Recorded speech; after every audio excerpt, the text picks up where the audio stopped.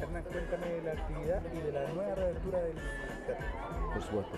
Bueno, nos encontramos acá en la reapertura del Teatro Municipal de Paihuano, esta infraestructura que se construyó aproximadamente entre el año 1912 al 1920 y tanto, ya, y hoy día lo estamos reinaugurando con esta obra hermosa eh, Coco.